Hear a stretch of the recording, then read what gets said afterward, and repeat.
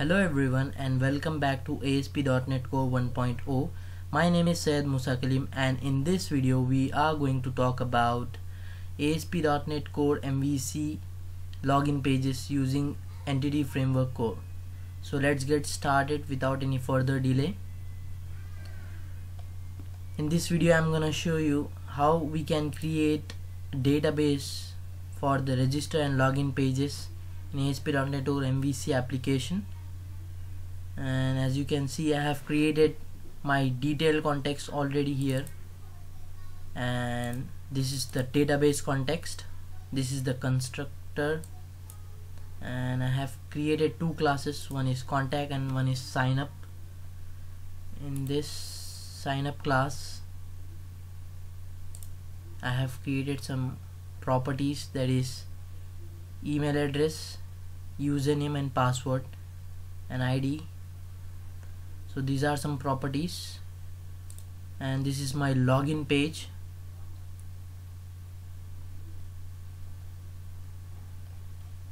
So for the new developers for the beginners I would highly recommend you to go through with this docs docs.asp.net to get started with entity framework core. As you can see getting started with ASP.NET core using entity framework core. And in this we are going to select new database. So these are the steps to install entity framework core in your ASP.NET core MVC application. So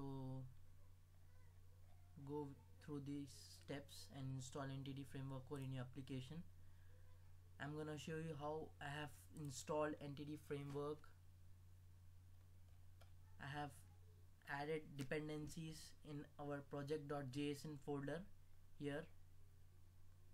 Microsoft.entity framework core.sql server designer. So these are some dependencies we have to install before getting started with entity framework core. And I have already set up my application and I have already uh, created my database in my application as you can see this is my detail context. These are my two database sets. One is for contact and one is for sign up and this is my login page. And this is my sign up class sign up page and this is contact class. In this contact class I have created an uh, ID property and first name last name and phone number. So what I'm gonna do is I'm gonna run this application and show how we can sign up to this application and how we can log in into this application. So let's do this. Let's run this application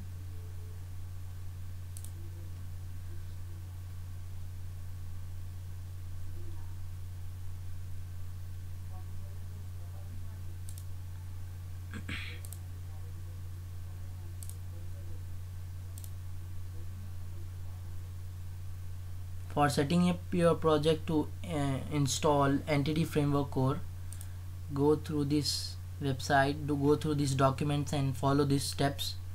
You could easily install entity framework core in your MVC application. As you can see the steps are mentioned over here. So go through with that. Yeah our application is ready let's give the controller name first and sign up page. I'm gonna sign up on this page.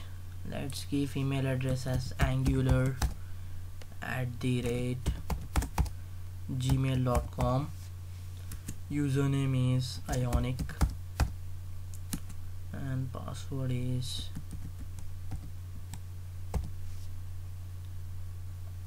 let's sign up. Ionic successfully registered. As you can see the message on the sign up page that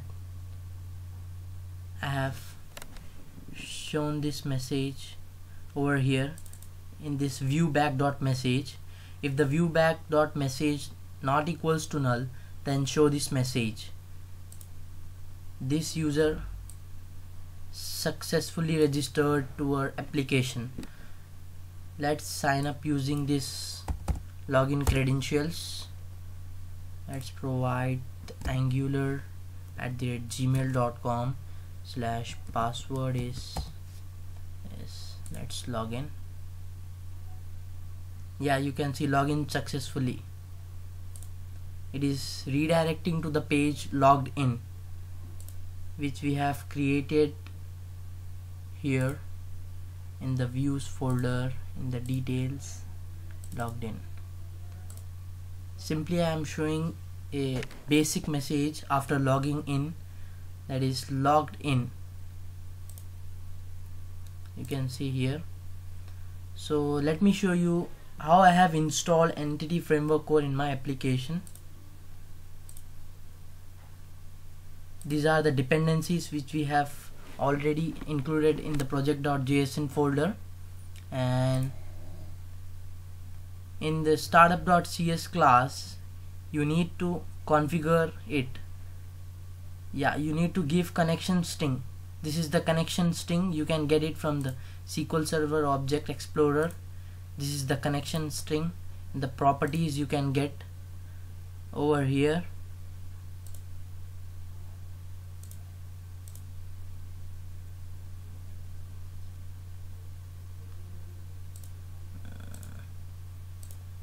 yeah this is the connection string.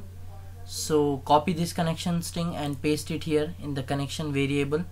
And I have added this connection string in the services add db context detail context op options dot use SQL server connections.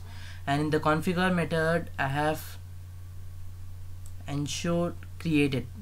I have take this parameter as detail context and in the context I am ensuring that my database is already created or not. Making sure the users that the, our database is ready for the use or not. So these are the two steps you need to do while installing entity framework or in your startup.cs class. And this is all about the login page using entity framework core. Hopefully you did enjoy this video thanks for watching this video. Don't forget to like this uh, like this and share this video